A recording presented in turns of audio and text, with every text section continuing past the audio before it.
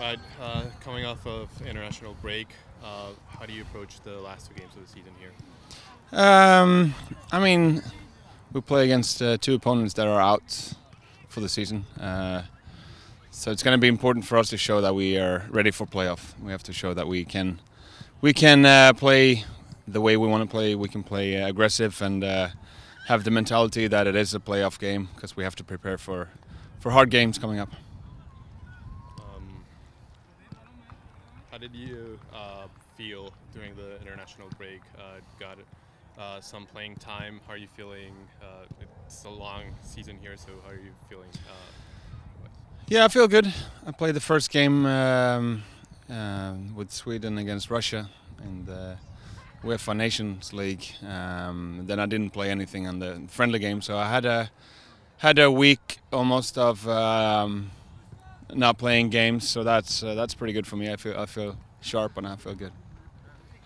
uh, so the team clinched uh, last Wednesday. Uh, what's the team mentality right now as they approach uh, playoffs, clinching playoffs for the 10th uh, consecutive season? That was our goal. That was um, our goal to go to playoff. We struggled a lot during this season, so we're, we're very happy that we that we made the playoffs. Um, so now it's a good men- mentality in the group. We are uh, we're confident and uh, looking forward for uh, the two next games and then going into playoffs.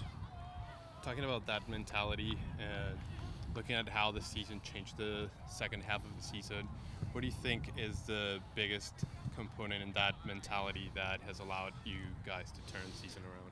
I mean, we didn't change much. There's always small details that you uh, that you change, and uh, mostly it's um, you know confidence and making sure that you you all those small details are are um, are going in your favor, and that's what we did. Uh, uh, especially during those nine consecutive uh, wins, we made sure that we have all the details with us, the small details, uh, and um we played some some good games there.